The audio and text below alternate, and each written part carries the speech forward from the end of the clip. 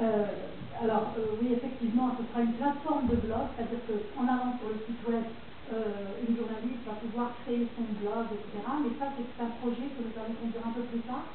Parce que ce qu'il faut savoir, c'est que c'est un site web qui a été, qui a été financé par un organisme international qui s'appelle IMS, qui nous a apporté, franchement, depuis que nous les avons connus, qui nous a apporté beaucoup et qui ont été emballés par l'idée de voir les femmes se, regrouper en réseau, travailler sur les nouvelles technologies pour être visibles.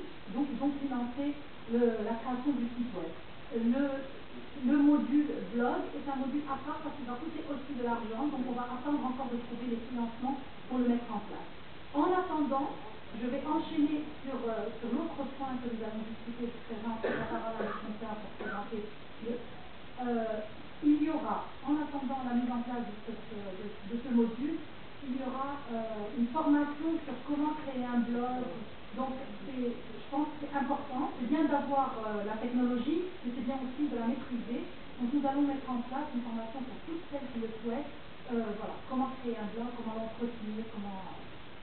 Et euh, dans le cadre d'un plan de formation que lui, le responsable va, va présenter.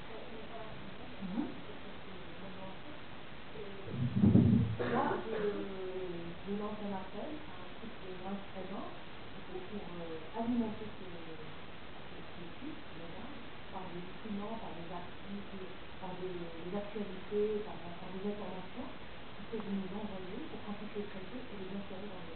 C'est-à-dire qu'on a besoin de documents, de vraiment tout ce qui concerne la femme